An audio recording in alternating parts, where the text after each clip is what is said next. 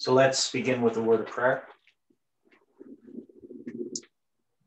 Dear Father in heaven, we are very thankful, Lord, for this morning and uh, for all those that are participating in this study here and for the light that you have given us over the past several months um, to help to understand our disappointment. And Lord, um, as we look back at the beginning of this message, um, especially in regards to Daniel 11, verse 40 to 45. We ask, Lord, for your spirit that gave this light uh, to shine upon our hearts and our minds and to help us to understand the things that we are studying. Be with each person. Help us in our personal devotion and study and in the trials of this life. Be with us now, we pray, and we ask this in Jesus' name. Amen. well, good morning, everyone. So, this is the last article from the 1996 uh, series that Jeff did in our Firm Foundation magazine. And um, we're going to take today and tomorrow to, to complete this. Uh, we're going to do a little bit of a review tomorrow and probably a little bit today as well. So this is the final verse, verse 45. Um, and somebody mentioned it's the 156th anniversary of Lincoln's shooting. So, not sure what the rest of that says. Ha Zakaron in Israel, secular Israel's Remembrance Day. Okay, interesting. So, um, so we're studying this verse 45. Now we're going to go through, I'm going to draw these things out again, uh, what we had done earlier, and try to complete this line. Um, so we're just going to start reading this verse here. And he shall plant the tabernacles of his palace between the seas in the glorious holy mountain, that he shall come to his end, and none shall help him. Daniel 11, verse 45. This verse describes where the king of the north comes to his end. The King James Version implies that the papacy is in the glorious holy mountain, and several other translations indicate that the verse might be better translated to indicate that the papacy places his tabernacle, uh, his uh, palatial tabernacles or war tents between the seas and the holy mountain um, so they're going to give an amplified version, which says, And he shall pitch his palatial tents between the seas and the glorious holy mountain, Zion, yet he shall come to his end with none to help him. Daniel 11, verse 45, amplified version. Now, uh, this verse, I'm just going to look at it in, uh, I'll show you, I won't use e-Sword. I'm going to use my Scholar's Gateway here to show you this. So I'm gonna share this.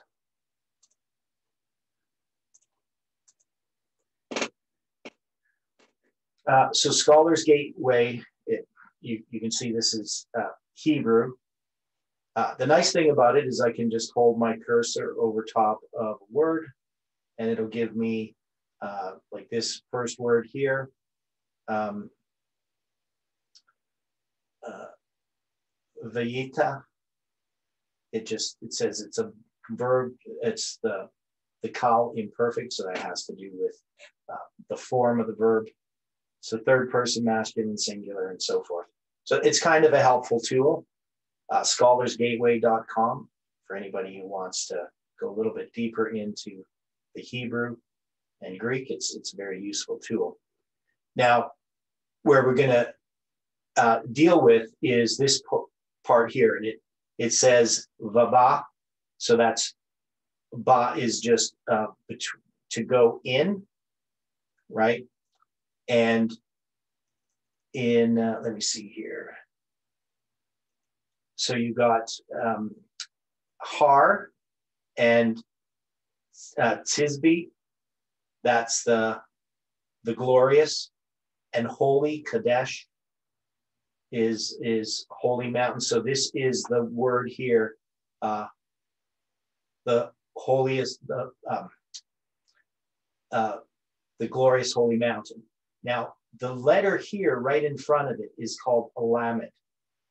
And a lamed, it's, it's um, basically a preposition. So, so just like to or against or from, those types of things. And in this case, it generally means two. So literally, it would be, and over here we have the word between, uh, bien, and then the seas, yamim. So you got between the seas, and then it has this word to the glorious holy mountain. Now, if it was between the seas in, you would actually have a different, um, you would have a bet in front of this. You wouldn't have a lamed. So the King James translates it incorrectly. And so I'm just going to go back to uh, the Bible. I'll go to the Bible, not back to because we were looking at that. Um, so go to the text itself.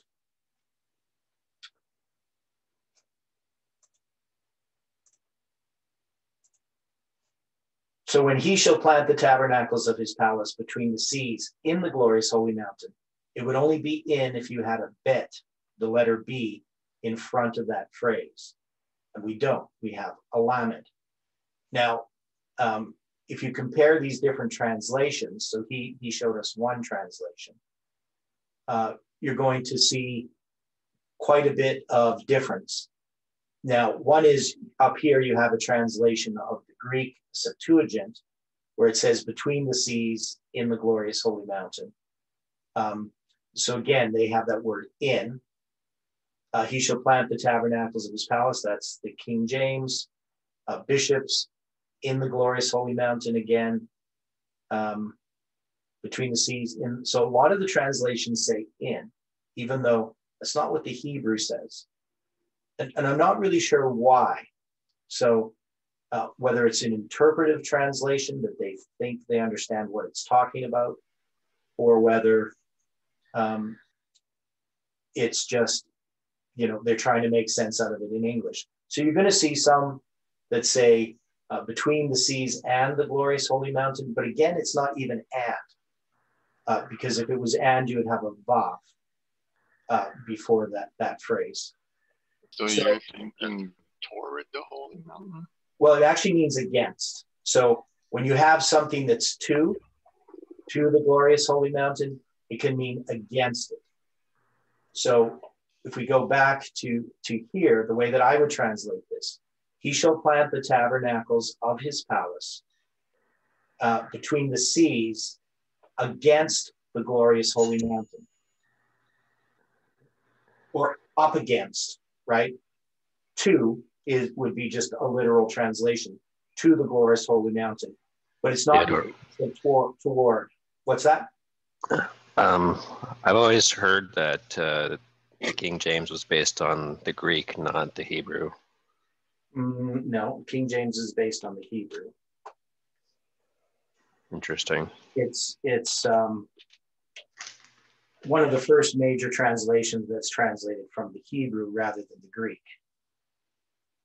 right? So early translations uh, were translated from the Greek, you know, into English, like uh, Tyndale's uh, translation and, or so William Tyndale.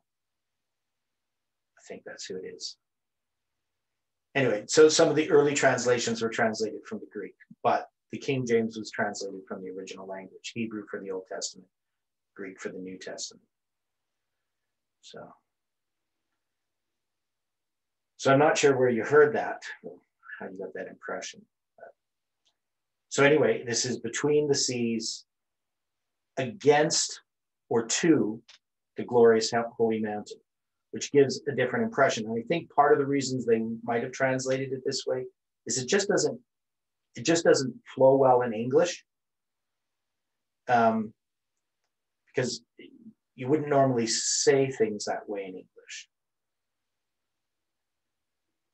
And so when we talk about between the seas, we're going to have to figure out what this would mean. So we're, we're going to look at, at this uh, passage and how Jeff interprets it. So we're going to go back there. But I just wanted to point that out about, about the Hebrew, what it, what it actually says.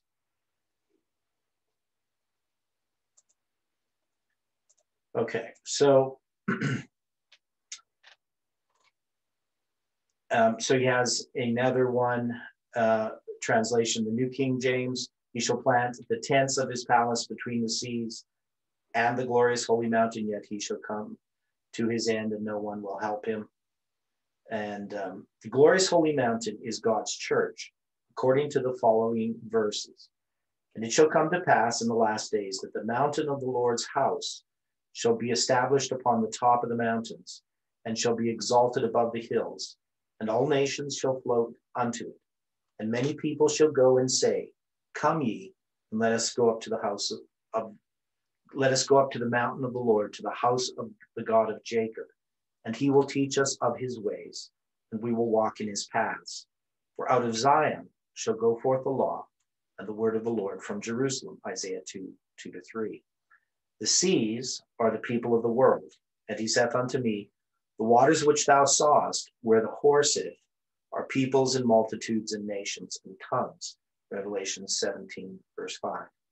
One of the questions most often raised about Daniel 11, verse 40 to 45 is whether or not the glorious holy mountain of verse 45 is the same as the glorious land of verse 41. So this, this is obviously something where people just superficially look at it and they see the same words and glorious land, glorious holy mountain, and they just equate them as being the same thing. So he's going to show that they're not. Both symbols contain the adjective translated as glorious, but if we drop the word glorious from both phrases, we see a distinction made between a land and a mountain. The land of verse 41 is where God's people in truth were placed in order to facilitate the proclamation of the final message of warning. Uh, the church, which was raised up to proclaim the message, is the holy mountain, of verse 45. Both are glorious in their own way, but a church and a country where the church was raised up are two different entities, though they are closely related. This verse describes when humanity will finally be divided into two groups.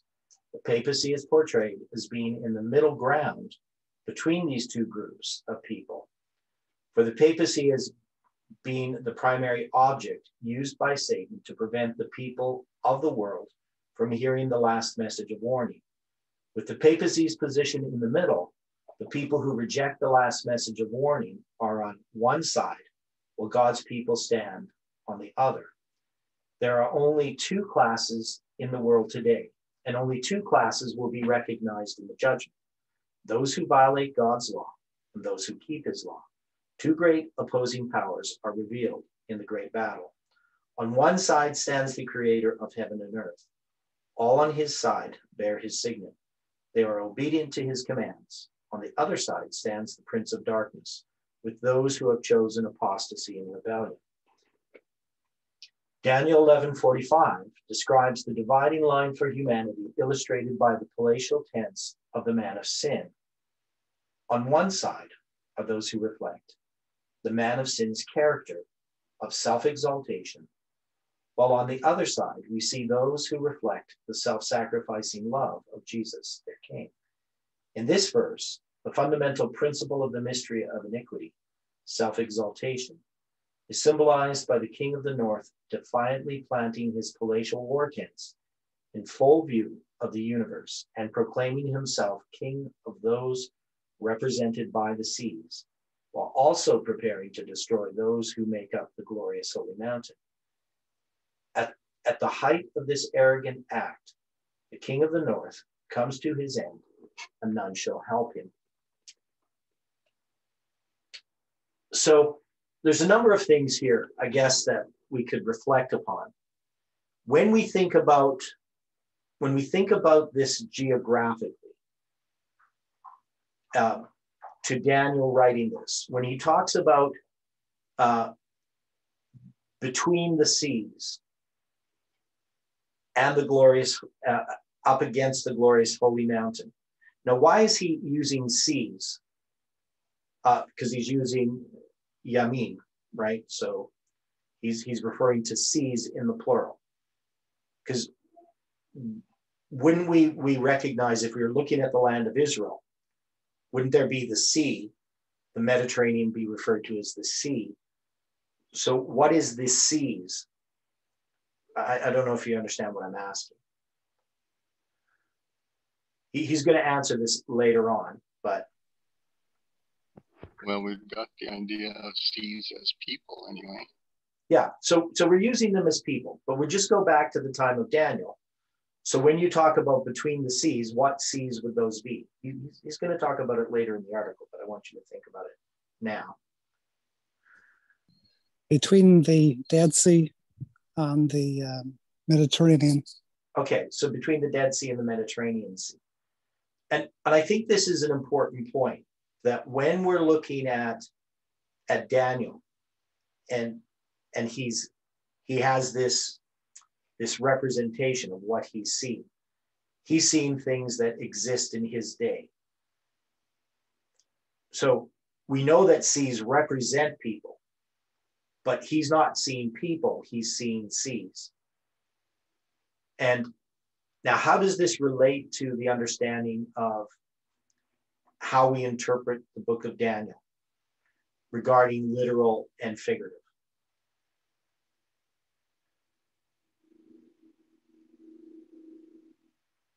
Well, then Daniel would be undoubtedly thinking of Jerusalem. So we need to understand what he means spiritually by Jerusalem. Right. So he's giving us a representation, and many people would look at this and they will look at it as the Battle of Armageddon in the land of Israel, right? So they will say, well, the seas are the Mediterranean and the, and the Dead Sea. Um, so, so you'd look at Armageddon, so you'd look at the Valley of Megiddo.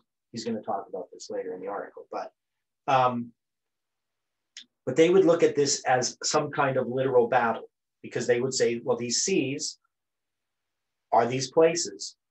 And I think that could be part of the reason why they translate it the way that they do, because they're seeing that this is the glorious holy mountain is Mount Zion, and it's between uh, the Mediterranean and the Dead Sea, and and it's in this this area of Megiddo, which is near. Um, you know, it's it's it's in that area, and that's how they're interpreting it. Now, one of the things about the word Armageddon, what does the word Armageddon mean? I mean, they're not bringing it up here. He's going to bring it up later, but. The Why? mountain of Megiddo. Yeah, the mountain of Megiddo, where Megiddo is actually a valley or a plain, right? It's not a mountain. Um, so, so Armageddon when, it, when we use the word Armageddon, which comes from Revelation, I think it's actually a symbol. Because what does a mountain symbolize?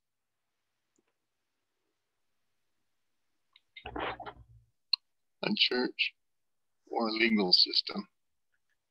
A church or a legal system? Okay. A government. Okay, a government. Yeah, I would think it, it refers to a kingdom. Um, so yeah, I guess a government with the legal system. Okay. Okay, so we're gonna go on and read read here. Um, Daniel 11:45 describes the dividing line for humanity, illustrated by the palatial tense of the man of sin. One side are those who reflect the man's character. I think I read that. Um, yeah. Okay. So in the Hebrew lexicon found in Strong's exhaustive concordance, we find the following definitions, which may help us to understand some of the key words of verse 45. Uh, so the word plant, it's a primitive root properly to strike in, to fix, um, specifically to plant, literally or figuratively, to fasten, plant. So, uh, so this is to to establish something like planting a plant, you would plant a plant by putting it in the ground. You're going to fix it into place. Uh, tabernacles, uh, a tent, as clearly conspicuous from a distance, covering, dwelling place, home, tabernacle, tent. Um, now, it says it comes, the primitive root is to be clear, to shine. Um, and that's because having to do with being conspicuous from a distance. So a tent is something that can be seen or to be clear, right? So that's the relationship. So he's going to use these words in his interpretation. And a palace, apparently a foreign der- derivation, a pavilion or palace tent, palace. So the action of placing oneself between a message of God and its intended recipients is used in verse 45 and is also a common illustration in the spirit of prophecy. Um, the action of placing, uh, let me see, oh, here it is. Uh, though being unable to expel God from his throne, Satan has charged God with satanic attributes and has claimed the attributes of God as his own. He is a deceiver. And through his serpentine sharpness, through his crooked practices, he has drawn to himself the homage which man should have given to God, and has placed his satanic throne between the human worshiper and the divine Father. Um, just prior to the coming of the Son of Man, there is, and has been for years, a determination on the part of the enemy to cast his hellish shadow right between man and his Savior. What's that? Did you say something, Pat? I said planted instead of placed. You've gone past it. It's no big deal. Oh, okay. Okay.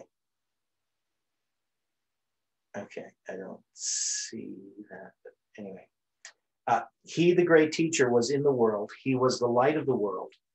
But Satan interposed his hellish shadow between him and the souls whom Christ came to save.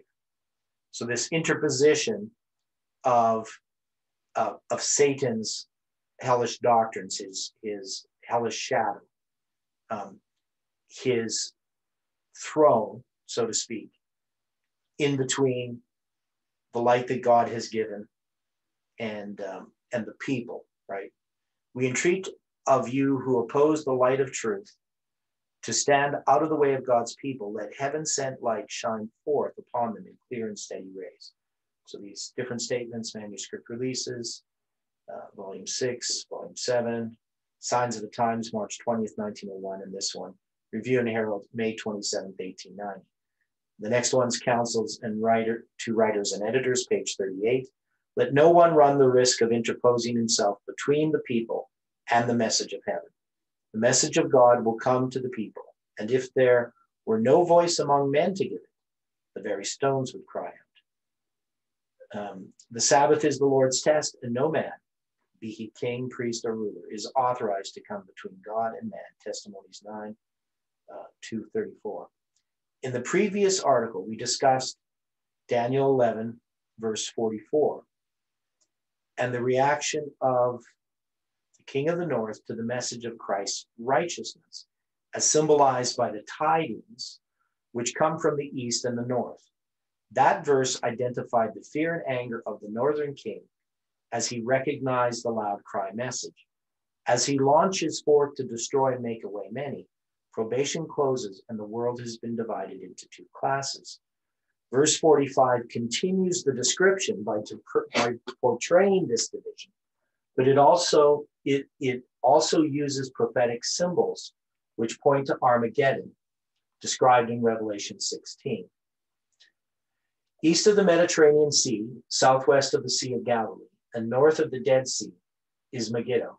About 35 miles south of Megiddo is Jerusalem, while just about 10 miles northwest is Megiddo. We find, or of Megiddo, we find Mount Carmel. Between Megiddo and Jerusalem is Mount Gerizim and Ebal, and the mountains of cursing, the mountains of cursing and blessing. In this geographical setting, we see the final end of the papacy set forth symbolically in Daniel 11, verse 45. The biblical history of these locations is abundant with information, symbolically pointing to the battle which ends with the second coming of Christ. Most Bible commentators locate the king of the north in Daniel 11:45 in the very middle of this Old Testament geography.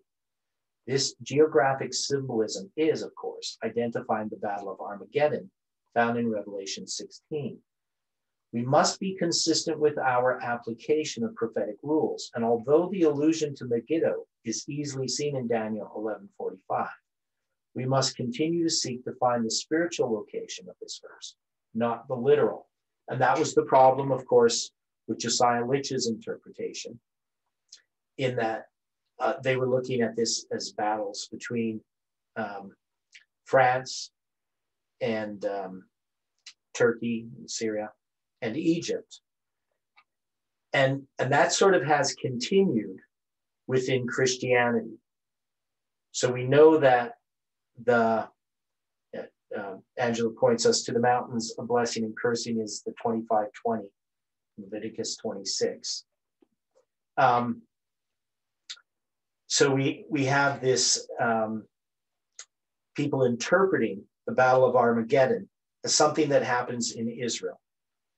And if we were going to use these arguments that this is Turkey or Syria and uh, and and literally Egypt, what would be the problem in trying to understand verse 45?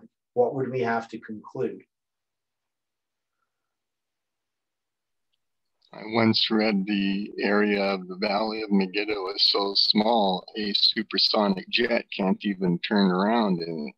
so it'll be hard to crowd all the armies of the world into there. okay, yeah, it's a small area. Um, but what would be the problem prophetically?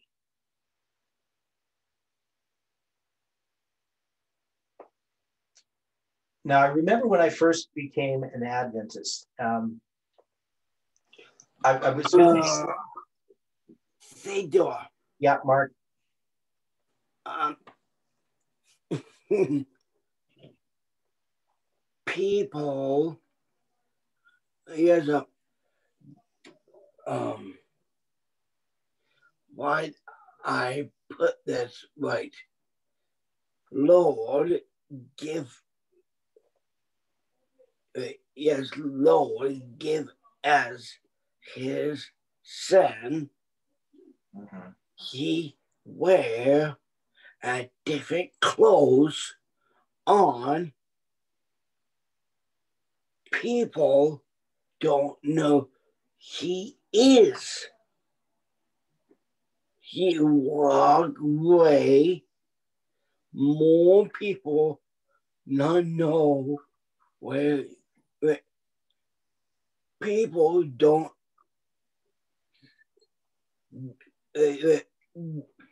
his own people don't know he is where he came from. They don't know he is. Okay, so how does this relate to the Battle of Armageddon? Um, he, uh, Lord said him, he wearing a different clothes they don't know he is. Okay, I'm not sure I understand how that relates to the Battle of Armageddon. There must be some connection. Uh, uh, uh, before that, before that. So Christ takes takes off his priestly garments and put on his garments of vengeance. Is that what you're talking about? Yes. Okay. Okay. Thanks. Now, um, so we know that many people look at this Battle of Armageddon as a literal battle. So I was talking about when I first became a Seventh day Adventist, um, I was looking at my grandmother's library and I noticed that she had this book. Um, I'm trying to think of the title, but it was written in the 1920s. It was an Adventist book um, on prophecy. So I, like something about end time prophecy, but uh, it was a colporteur book. So I, I don't know how she ended up with it because uh, she was always opposed to Adventists because she used to know some Seventh day Adventists. And um, so, anyway, uh, our, I think it was our day in the light of prophecy or something like that. Um, anyway, the position that they took is that the Battle of Armageddon was a literal battle in Jerusalem. And back at that time, I didn't know much about you know the issues, but I just it didn't strike me as being correct as I read through it. It was dealing actually with Uriah Smith's interpretation of Daniel 11, verse 40 to 45, and it was taking uh, that position that we would see here that this is literal, the planting of his tabernacle between the sea, seas and the glorious holy mountain would be a battle in in the land of Israel. So so this idea existed within Adventism for a long time as a predominant idea. So we were promoting a literal battle of Armageddon.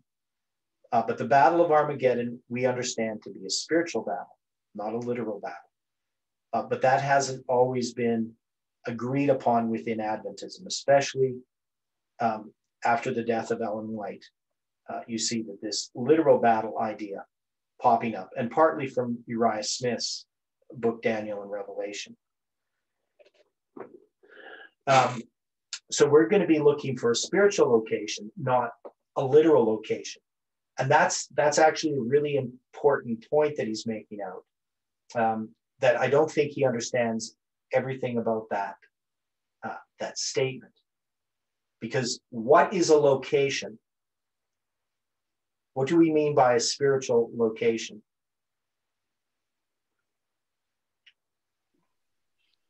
Well, we think of a, a literal place, a position on the, you know, on the surface of the earth somewhere. Yeah. So, what's a spiritual location? Yeah, that could be anywhere or everywhere. Yeah. So, uh, now one of the things it would be a point in time, but also a condition, a situation that has arisen. So the location of the Battle of Armageddon is not really a place. It's not a. It's not about the geography of it. It's about where we are in history, locating it in history, or locating it in time. What are the situ? What's the situation that has to arise to see the Battle of Armageddon and what it's about?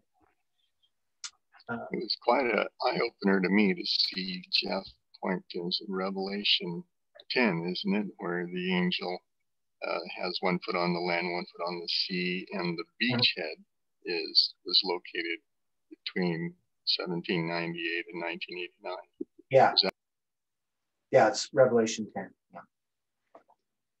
So in Catholicism, Protestantism, and even in Adventism today, we find men interpreting this verse as literal Israel.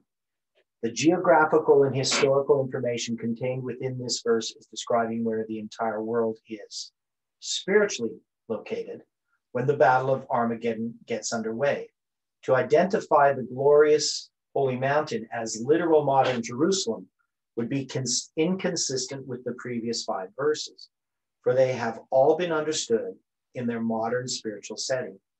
If one chooses to identify the glorious holy mountain in this verse, as the present day Jerusalem, then consistent, consistency in prophetic application demands that all the symbols in this sequence should have literal counterparts. This is not possible. For Edom of verse 41 no longer exists as a nation or a people.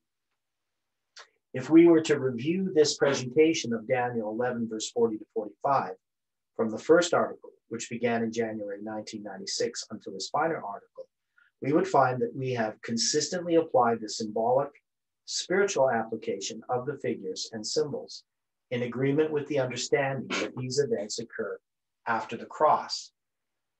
We also have seen that the sequence of conquests by the papacy as it returns to its former position of power is the same sequence set forth in the book of Revelation.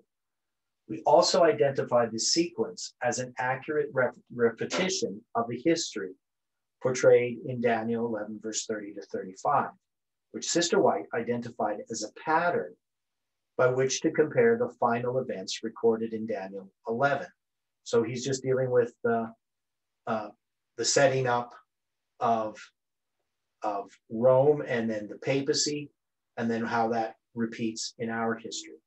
While noting that the last scenes of prophecy would address the man of sin, we also identified that within the books of Daniel and Revelation, there would be an increase of knowledge, which would prepare God's people to stand in these last days.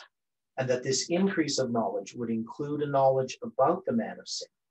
Not only did we establish some of the connections between these verses with the book of Revelation, but the prevailing theme of these verses can easily be verified by the events which are transpiring in the world today. We considered that our greatest need as God's people is for revival and reformation. And we noted that Sister White said this needed revival would come from an understanding found in the prophecies of Daniel and Revelation. We begin this study by comparing, we began this study by comparing the events set forth in the first chapter of Testimonies, Volume 9, and found there that Sister White identified these final events uh, with the fulfillment of Daniel 11. So that was just going back and remembering that. So, volume nine, that is where we have 9 11 and um, described in, in that section that he's referring to, is that section that begins in uh, Testimonies 9, page 11. More sobering, though, is that as Sister White pointed to these final events of Daniel 11, she then stated that the final movements will be rapid ones.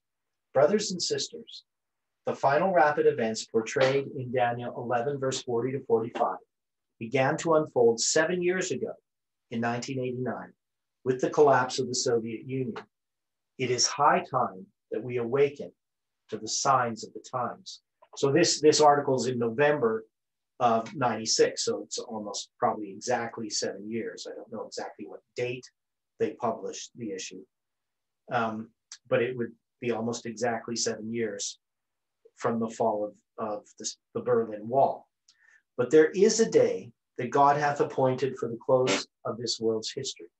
The gospel of the kingdom shall be preached to all the world, in all the world, for a witness unto all nations, and then shall the end come. Matthew 24, 14. Prophecy is fast fulfilling. More, much more should be said about these tremendously important subjects. The day is at hand when the destiny of every soul will be forever fixed forever. The day of the Lord hastens on apace. The false watchmen are raising the cry, all is well. But the day of God is rapidly approaching.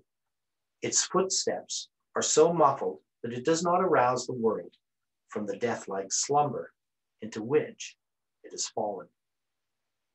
While the watchmen cry, Peace and safety, sudden destruction cometh upon them, and they shall not escape. First Thessalonians 5, verse 3. For as a snare shall it come on all them that dwell on the face of the whole earth. Luke 21, 35. It overtakes the pleasure lover and the sinful man as a thief in the night. When all is apparently secure, Men retire contented uh, to contented rest, um, and men retire to uh, contented rest. Then the prowling, stealthy midnight thief steals upon his prey. When it is too late to prevent the evil, it is discovered that some door or window is not secured. Be ye also ready, for in such an hour as ye think not, the Son of Man cometh. Matthew 24, 44. People are now settling to rest, imagining themselves secure um, under the popular churches. But let all beware, lest there is a place left open for the enemy to gain an entrance. Great pains should be taken to keep the subject before the people. The solemn fact is to be kept not only before the people of the world, but before our own churches, that the day of the Lord will come, uh, that the day of the Lord will come suddenly, unexpectedly. Uh, so we need to know that that these events back in 1996, and, and Jeff is, of course, quoting Spirit of Prophecy, we know that a lot of events have occurred since then. And who does it come unexpectedly to?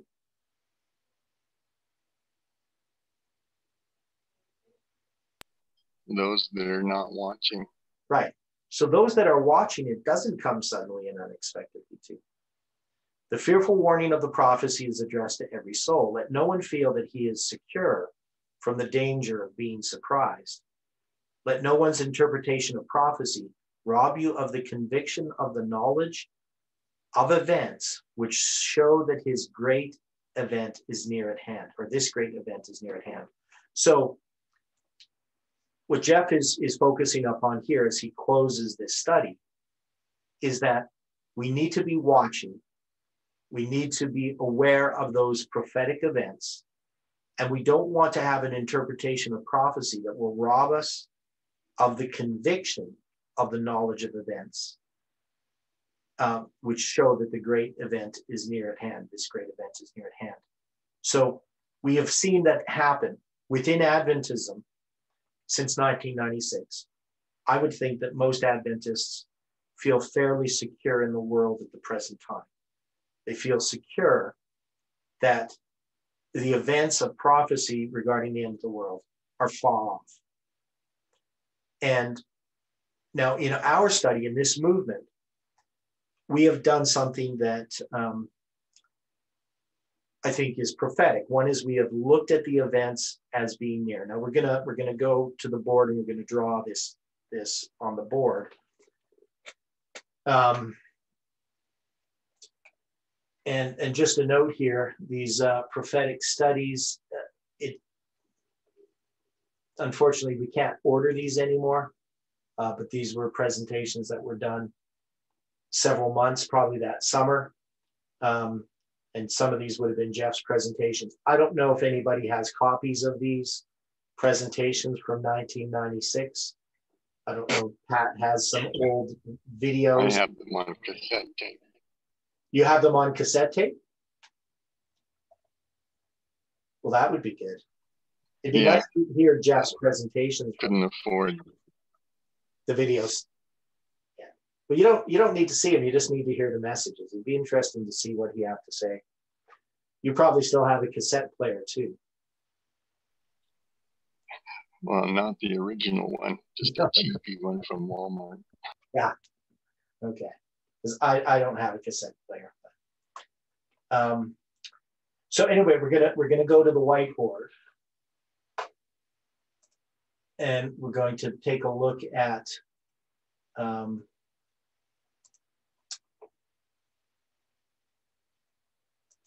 at these things here. So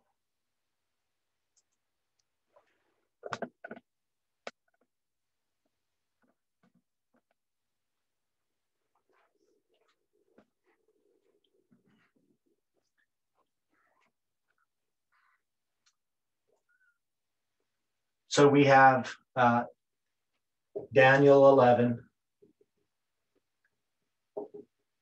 verse 40 to 45.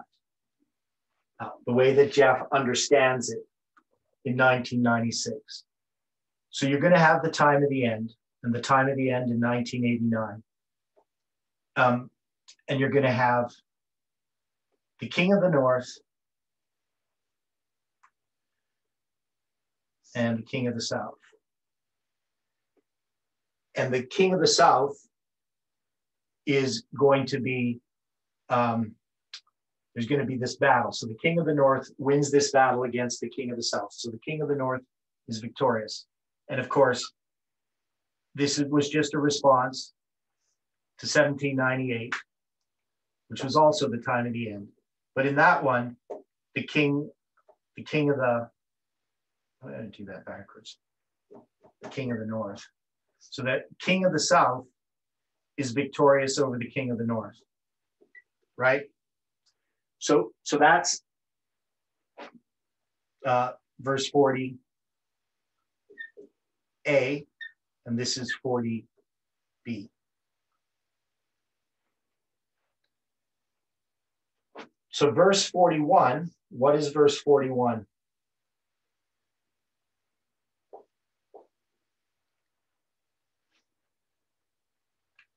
How's Jeff marking? What's what's the events of verse 41?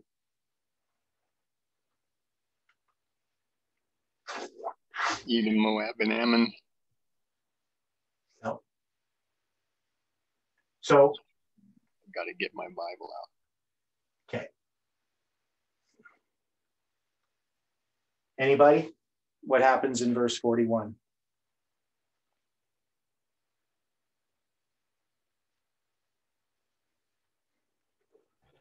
The Sunday law in the United States. Okay, so it's the Sunday law in the United States.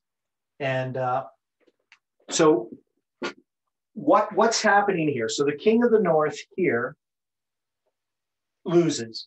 So when the king of the south comes here in 1989, what is this? What would Jeff call this this victory over the king of the south? Because you're going to have over here the glorious land. Uh, so you're going to have the king of the north is victorious over the glorious land. Because that's what it's going to talk about. So the glorious land. So this is going to be the Sunday law in the US. So what would we call these?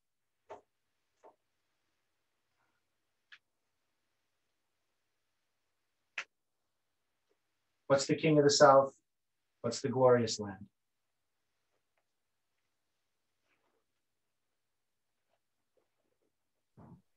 Geographical areas. Okay, geographical areas or obstacles, right? So these are the obstacles. So this is the first obstacle. And this is the second obstacle, correct? Yes. Yeah, and this is this obstacle here. What is this obstacle? What is the king of the south? What obstacle is this?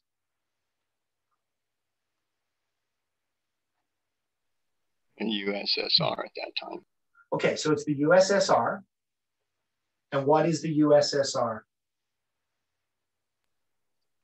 Organized atheism in opposition to Rome. So it's atheism. So atheism. Okay, now when it, he's going to um, come into the glorious land, the language that's used there, he shall enter also into the glorious land, and many shall be overthrown. So in this one, we're going to have the many, and we're going to have the sum. And the sum, and I say it's even of Edom, Moab, and Ammon, the chief of the children of Ammon, um, specifically. So the many and the sum, the glorious land is the United States, right? So that's that's what. So when many are overthrown and some uh, escape the hand, so many overthrown and some escape. What is this referring to? It's the Sunday law in the United States, but what is this talking about? And Jeff used to pin the many that are overthrown directly on Seventh day Adventists, but those that escape would be from non Adventists. Um, well, yeah, I would think that, that that could be true. But when it comes to the many and the some, this is the majority and the minority, and this is in the United States. So, yeah, many, I mean, Adventists will be overthrown. We know that. Uh, it's not just in the United States that many are overthrown, but the majority are overthrown in every group. But some escape of Edom, Moab, and Ammon. So this would be the Protestants. So this is the Protestants in the United States. So I wouldn't make this as Seventh Day Adventist and Protestants. That that wouldn't really make sense. So this is about the Protestants in the United States in the glorious land. This is the second obstacle. And this occurs when? At the Sunday At law. Sunday law. Right. So we have this Sunday law in the glorious land. That's the second obstacle. Now, verse 42 and verse 43, what are they going to address? So I'll do it this way.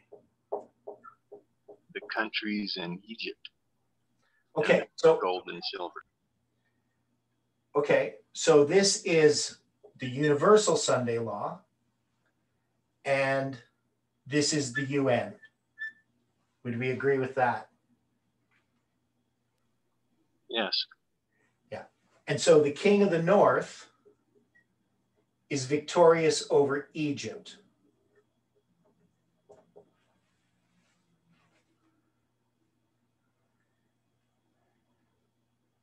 Now, is third Oh. obstacle.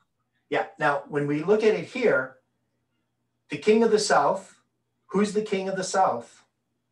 Uh, prophetically, like historically.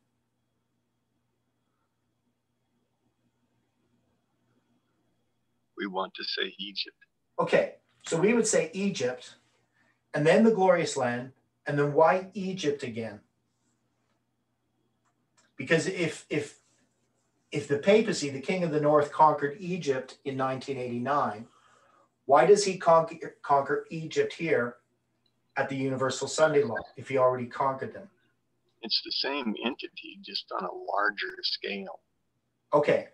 Yeah. So I understand that this is globalism, right? So this is the USSR and this is the world, but this is now the UN.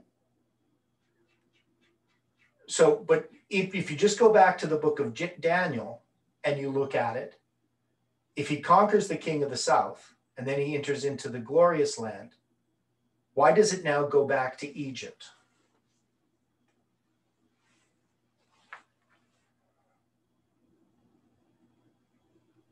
I don't want to say he's going from spiritual or symbolic to literal, No, he's not. but Now it's also the countries, right? Right. So we know that the passage says, and he shall stretch forth his forth his hand also upon the countries. Now, countries there is just the Hebrew word eretz, which means land. So to try to say that it's the countries um, in that context, I'm not sure if that's that's really a good translation uh, because I would just translate it as land. Um, but then it says, but the land of Egypt shall not escape. What does it say? Um, let me see. Yeah, the land of Egypt shall not escape. So we have over here some escape from Edom, Moab, and Ammon. So what does Egypt represent here? I mean, we already kind of know it. But in contrast to this, does not escape.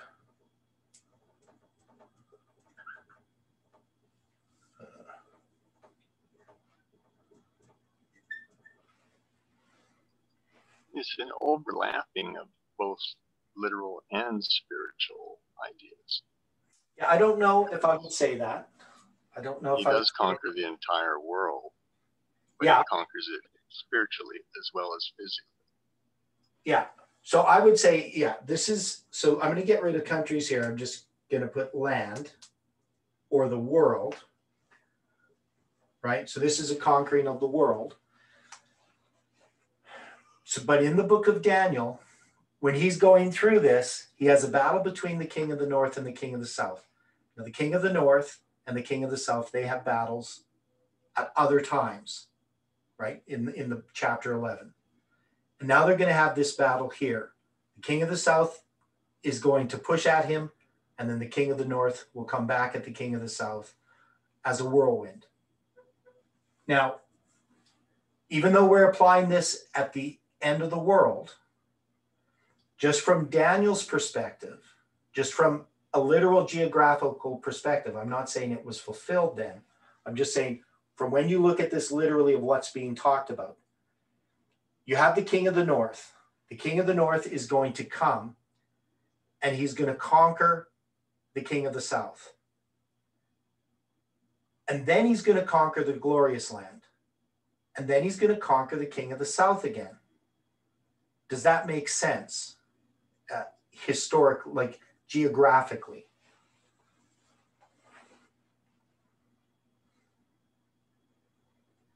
Not really. We need to understand the symbols. Right. So, so to me, it doesn't make sense. If you were to take this literally, it wouldn't make sense. You're not going to conquer Egypt, then conquer the glorious land, and then conquer Egypt again. So, so I'm saying that it, it can't be applied literally. It must be understood spiritually. And so we know that the USSR fell in 1989, but we came to understand that the head did not fall. And, and we're going to look at this tomorrow. What we're going to do tomorrow is we're going to look at the parallel between uh, Millerite history and their understanding of Daniel 11 and our understanding of Daniel 11 and see where we made the mistake because we we basically made to some degree the same mistake as the Millerites made. Um, and I'm not really sure how to illustrate it. I'm, I'm thinking about it.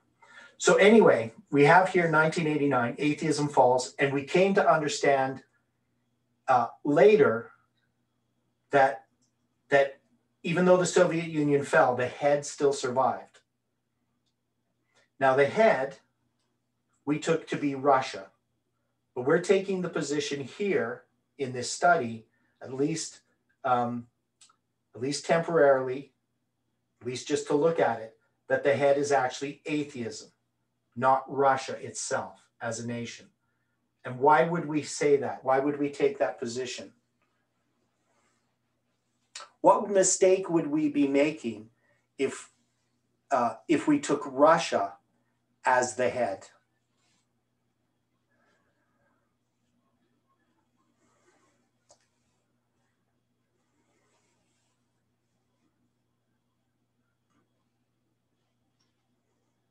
What That mistake? would be a, What's that? that, that would be a literal interpretation then if we're taking a literal place. Right. We would now be we would be making the same mistake as Litch and Uriah Smith, because Uriah Smith made the argument that since the land of Turkey or Syria was the north, Syria was the north, and Turkey had possession of Syria, then Turkey must be the king of the north. They weren't applying that symbol, Sodom and Egypt, uh, symbolically as applying to a power that was atheistic and licentious, right? So they weren't understanding uh, that symbol. So when they when they were addressing the king of the north, it must be the person that occupies the territory of the king of the north. But we also saw that France, it became the king of or, or the, the king of the south. How did France become the king of the south?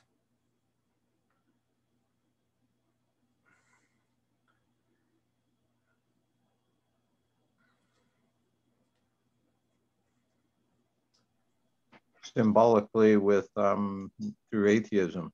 Yeah, it had to do with the attributes of France. It is an atheistic power and it's licentious. Sodom and Egypt. So then the Soviet Union became the king of the South because of its atheism. And it was the target of atheism by the United States and the papacy.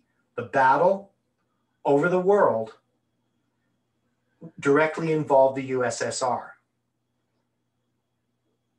But in our time, the battle over the world doesn't isn't about Russia, even though Russia's in the news and so forth.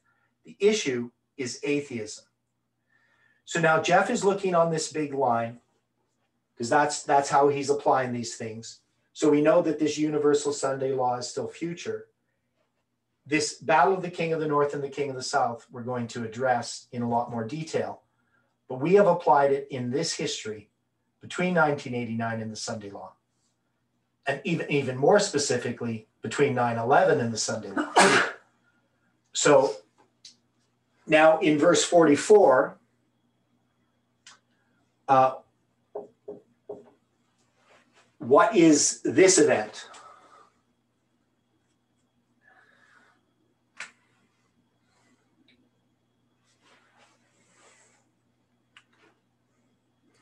Because remember, it's about the tidings out of the, the north and the east. And they shall trouble.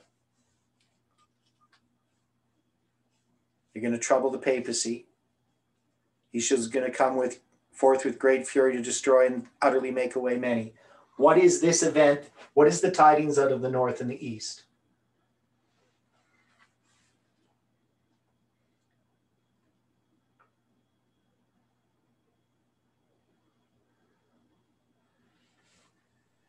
Used to say the second coming on both cases, but we've modified that to include Islam.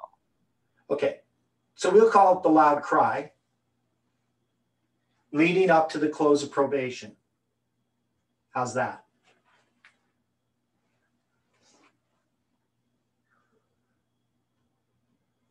So you get these tidings out of the north and the east.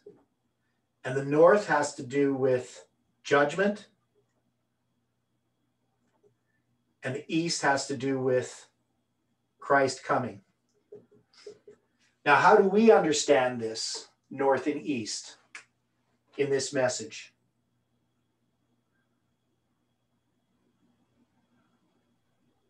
Rome and Islam. Um, okay, so Rome and Islam. Yeah, so this is uh, judgments against Rome right? So this is a message about the papacy, and then this is a message about Islam or the kings of the East, which we could even, uh, you know, we could equate to Cyrus as well. So this is the East coming to deliver us from Rome or Babylon.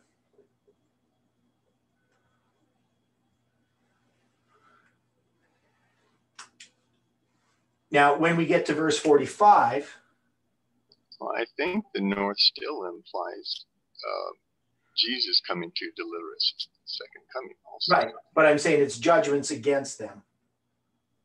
Yes. From the North, right? So, so these are both about Christ. So this is the judge. Christ is the judge, and this is about the coming of Christ. So I could, I guess, I could do judging and coming and this is Christ. But he's typified by the armies of Babylon. He's also typified, or not the armies of Babylon, a judgment against Babylon, and he's typified by the armies of Medo Persia coming and delivering uh, God's people from Babylonian captivity.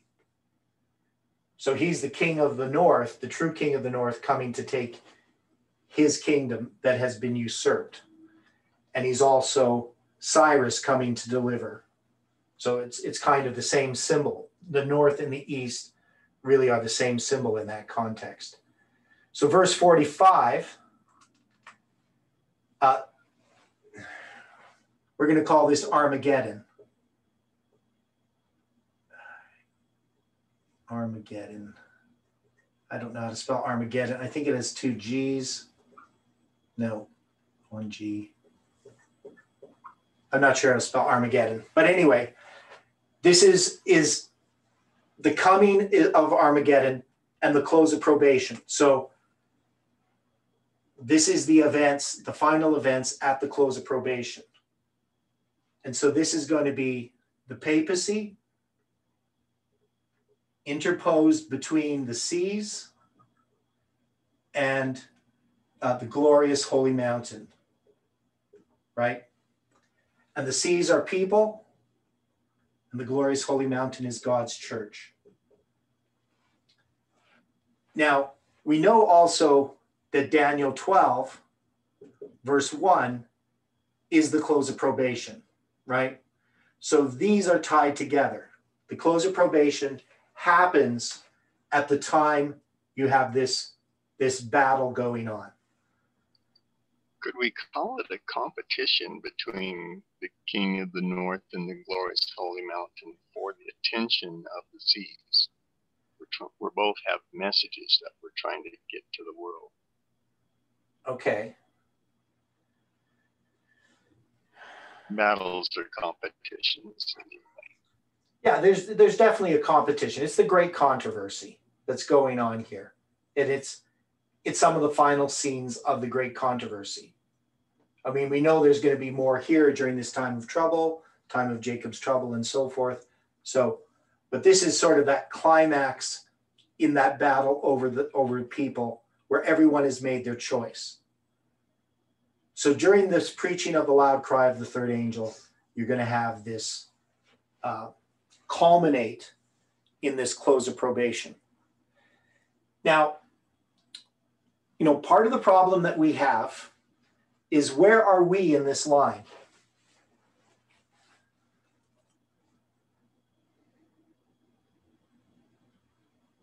Still before the Sunday law.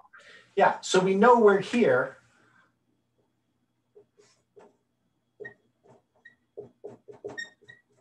Somewhere. Now, we know we're after 9 11, but as far as in 1996, Jeff definitely is here. He sees the Sunday law and he sees all of these events. The final events will be rapid ones.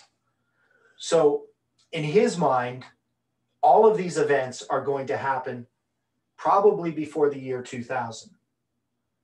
You know, maybe maybe exist back past that a bit, maybe even before the year 2000. Maybe we don't even get to the year 2000. So he's just seeing these events. These are the end time events that he's looking at. Now, when we get into our history, we're looking at all kinds of events that are happening here. Right? This is where we are still. We're still in this period of time.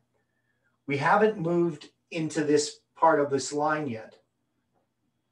And yet, when we're looking at, at these events here leading up to the Sunday law, uh, we become, you know, very nearsighted or myopic, right? We we start to look at these events in, in a way that Jesus is coming very soon, and there's nothing wrong with that. We know that he's coming soon. But yet there's all these events that have to happen, and yet we're seeing more detail here. Our focus is not usually on this big line because we've talked about closes of probation here within this movement. And yet the close of probation is over here. It's not until Daniel 12:1 that we hear, let him that's righteous be righteous still, let him that's filthy be filthy still. We don't hear that then. And yet we were placing these events here. Now, why were we doing that? Just emphasized process. Okay. Emphasized process. Yeah. So there's a progression of events. But but that doesn't really answer my question. Why were we so focused upon looking for a close of probation here within this movement?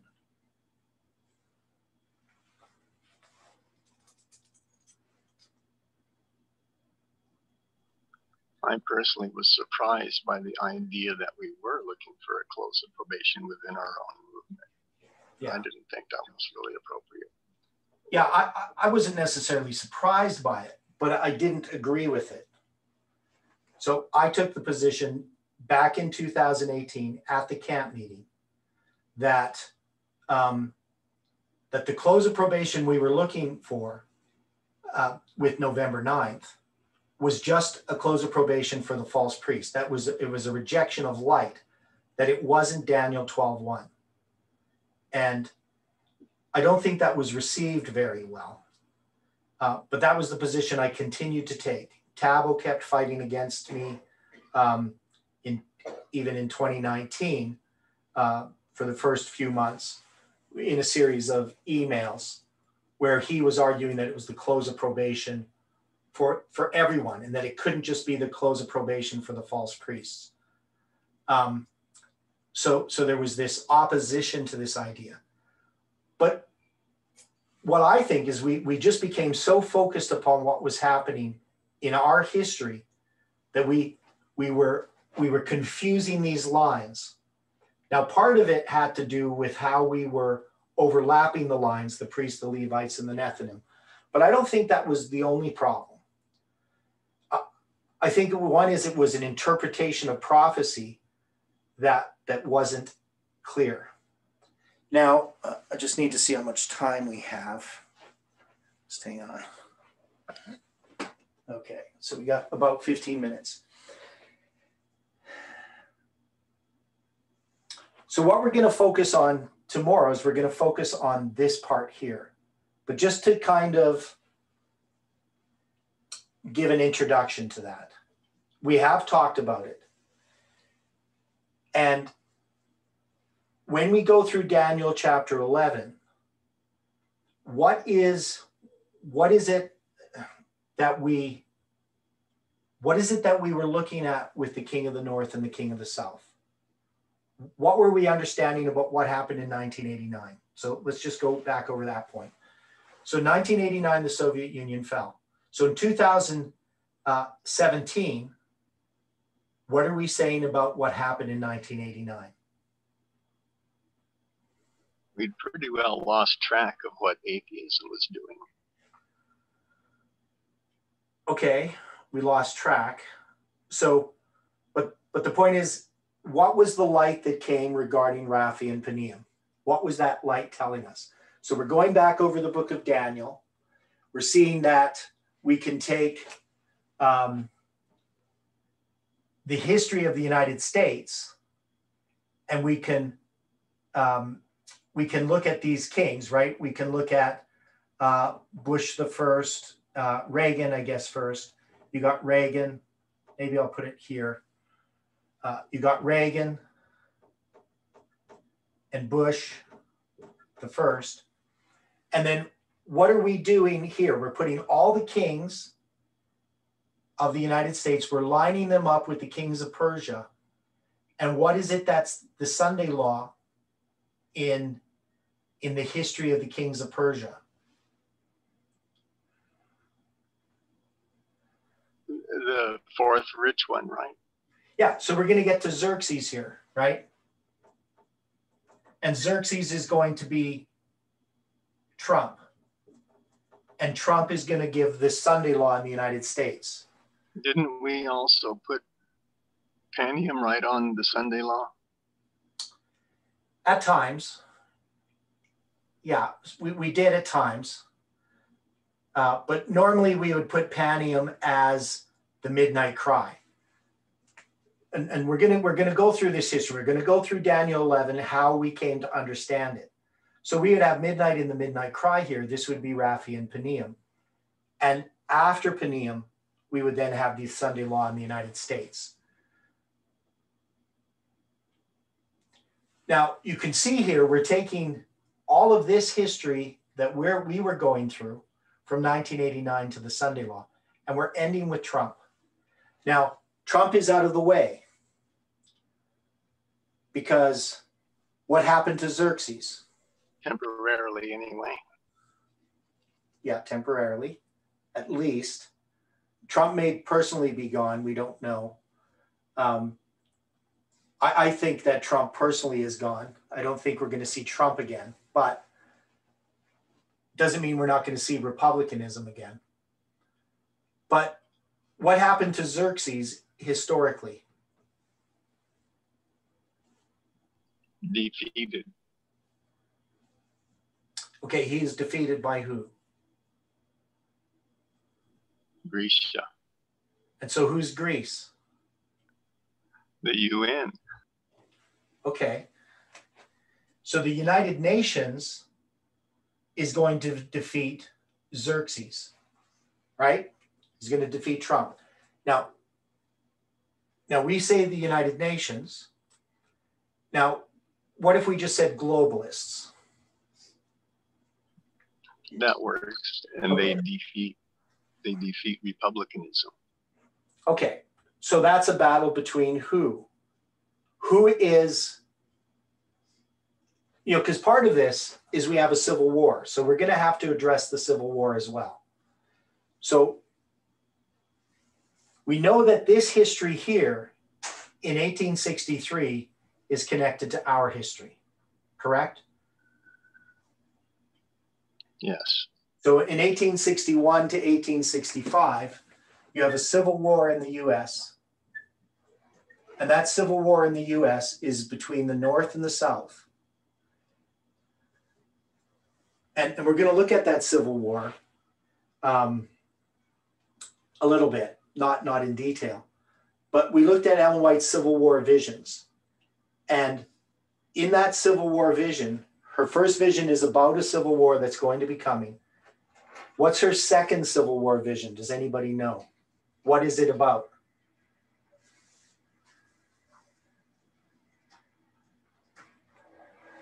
The first Battle of Bull Run or the Battle of Manassas? Same thing, but Angela put a note on the chat. Okay, what does it say?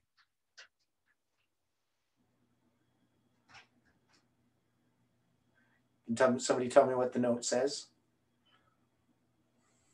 Xerxes was slain by Artabanus, according to A.T. Jones. I'd like to know who or what were this he represents.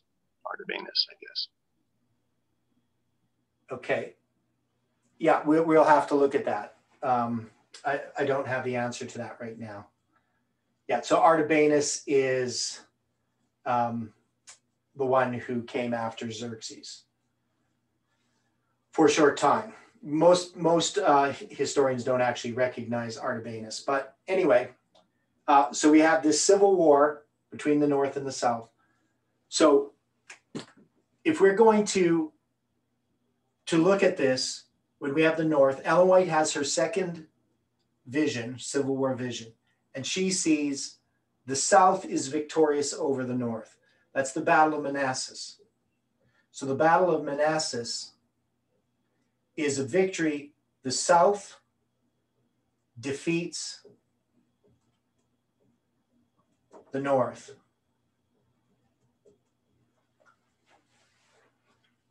Now we know that the North ultimately wins against the South. But the first vision that she has regarding the battle, so she has a vision earlier, but the first, the second vision she has is about the Battle of Manassas. And that's when the South defeats the North. And has the South, now who's the South in, in American history? So South defeats the North, South's victorious. It was separated by the Mason Dixon line. If I did this, Democrats and Republicans, would I be wrong? No, it looks good. Right, because the North is Republican, the South is Democrat. Has that happened in our history now? Can we say that we have seen the Battle of Manassas unfold in our history in a civil war in the United States? Yeah, I think you can say that. Okay, where would we place it? Where did the where did the Democrats defeat defeat the Republicans?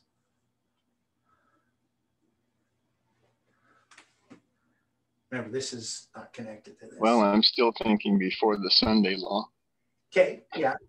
So what if we said January 6th, 2021? Could we say that that was a parallel to the Battle of Manassas in our time?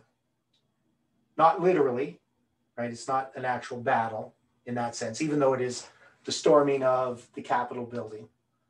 It's not it's not very violent, other than a few little clashes here and there. So it's something to think about um, to try to understand this history. So if we have the king of the South is the Democrats and they de- defeat the Republicans, what would happen next? The formula says the king of the north comes down and completely wipes out the king of the south. Right. And then after that, we would have the Sunday law. And the power that would bring about the Sunday law would be this, this power that has conquered the king of the south. Now, this is, you know, uh, we've this is just conjecture. We're just looking at this, trying to understand it. And we're going to look at it again tomorrow. But the big problem that I've always had as a Seventh day Adventist is how do you address a Sunday law in a secular society? I mean, I can understand it. Maybe you could have argued in the United States, you have um, this, you know, moral majority. You know, you have a conservative, Republican uh, majority of some sort that would then bring about a Sunday law. But the question is, how do you enact this over the entire world? So there has to be something that happens. My default setting is always the fear factor. Something's Yeah. got to create a lot of fear globally. Yeah, but it but it can't just be a secular Sunday law completely. There has to be a religious element. Something has to happen that's going to change the hearts and minds of people around the world to support such a Sunday law, right? My my take on the fear is that God or people become convinced that God is mad at the world. First, not protecting the United States, and then bringing judgments on the whole world. The the fear is of God more than anything else, as I understand it. Yeah, yeah. But there are, there are things that have to happen, right, for that to occur. I mean, you couldn't just have the world going on the way it is and Oh, people yes. fearful. So, Now, disasters, the strife among mankind, all these Right. things, all Yeah. my details though. yeah, so we would look at disasters. We're going to have disasters, sea, land, air, uh, all kinds of disasters that are going to occur. But I think there's still something more that's missing. Um, because you can have fear in people, but that, but why should they think the Sunday law is the solution? I think that there's something more at play here that uh, that we don't quite see yet uh, because it has to do with this atheism. And when we talk about atheism, you know, not very many people are actually what you would call atheists. Angela made a note. Okay.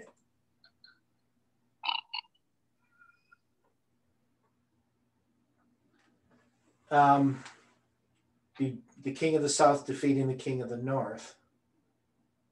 Um, okay, you're going to have to explain because we have the king of the south defeating the king of the north.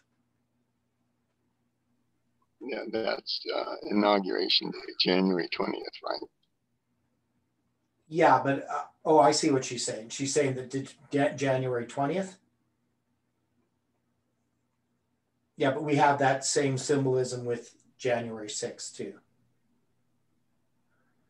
Oh, I was thinking of the one two oh, the Yeah. one twenty. Like if you look at the date backwards and forwards, it's the same. Thought it signified something. Yeah, well, we're not saying that January 20th isn't important, but I would think that if you're going to look at the battle, uh, it was won already on January 6th. January 20th is just a formality. Nothing's nothing's happening that day. You know, that, that's all I would say about that. But you have the symbolism of um, the 126 and so forth in uh, in that date. But yeah, January 20th is important. So, so there, these are things to think about. You know, I don't think we're going to resolve all these issues uh, like tomorrow or anything. But what we're looking at when we're looking at this foundation of this message, we can see one of the problems that we have is we know the foundation was laid correctly, but Jeff was laying down a foundation that was looking at the big line. The problems came about as we tried to address what was happening uh, between 1989 and the Sunday law. Yes, we even got into what the prediction before midnight, sundown, all kinds of Yeah. strange waymark. Yeah, now these are correct though. So, but the problem is where we were, how we were connecting them to the bigger line. That is, we didn't fully understand the role of this movement because my position is that this movement is Samuel Snow, and particularly everything that we have experienced is really Samuel Snow's letters. Not we haven't we haven't come to midnight in the midnight cry yet. So this movement had a preparation. It's about the it's about what Samuel Snow was coming to understand. It's about an increase of light. And the prediction before midnight is about this movement's message prior to midnight. But even then, we have to recognize that midnight and the midnight cry are not waymarks on the big line. That is, we were putting them in there as, and we'll see this tomorrow, hopefully, we were putting them in there as if they were waymarks on the big line, but they're not. They're internal waymarks within this movement. And so to put them on the big line, because Jeff doesn't have them on the line here, right? He has the loud cry. Now, the loud cry would parallel the midnight cry in Millerite history. And yet, we, and, and we're going to see this as we go through, you know, the, the following months, Lord willing, as we look at our foundation, we're going to see how we develop this understanding and why we got focused on things the way we did. We basically made the same mistakes as the Millerites because the Millerites didn't realize that they were having an increase of light that was a type. And that when they got to October 22nd, 1844, and they experienced that disappointment, they didn't know where they were in history. They were looking for the second coming. And yet they were being led of God to establish that date to begin the judgment, to begin the Day of Atonement. But they were looking just for the Day of Atonement to be a day, not to be a long period of time of over 100 years, nearly 200 years. So, um, so this is something that we're going to have to uh, continue to study on our own. Um, something we have to pray about uh, because we we can see that there are some things we have to correct, but these are not major it's not like we were were were wrong. We were just not understanding the application of those lines. So those dates, everything that God gave us in this movement is correct. Except our understanding of those things. That's the thing that has to change. So um, let's close with prayer. Dear Father in heaven, we are thankful, Lord, for um, the time that we had to study this morning. We're thankful for the way that you work in our lives, for the way that you have led this movement. And we pray for the people, Lord, who have um, followed this movement.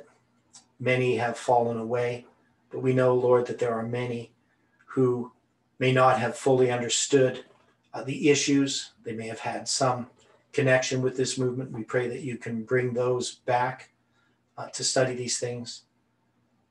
But most of all, Lord, we pray um, for those that are struggling now uh, to understand these things, help us in our day to day lives uh, to study.